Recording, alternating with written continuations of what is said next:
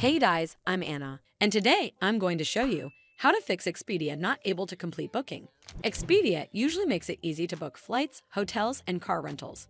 However, if Expedia is not able to complete your booking at the moment, it could be due to a temporary technical issue.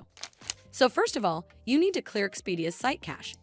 For instance, on Chrome, you simply need to hold down Control, Shift, and Delete key on your keyboard.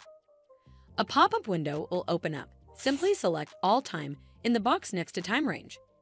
Then checkmark these boxes and tap on Clear Data.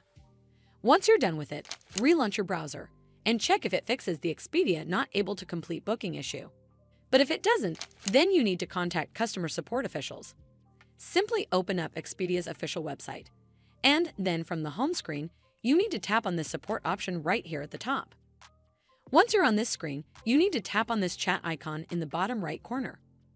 Once you tap on it, a chat screen will come up. Simply follow the on-screen instructions, and they'll connect you with Expedia's customer support officials. Once you're connected, briefly explain your issue to the Expedia's customer care representative. You can type something along the lines of, Hi, despite several attempts, I have been unable to successfully finalize my booking through Expedia.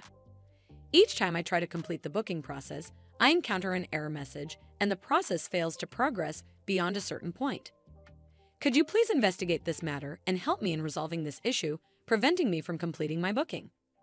Hopefully, Expedia's customer support official will help you fix the Expedia not able to complete booking issue. I hope you found this video helpful, and if you did, make sure you give it a thumbs up to see more videos like this, and don't forget to hit that subscribe button. We'll see you in the next one.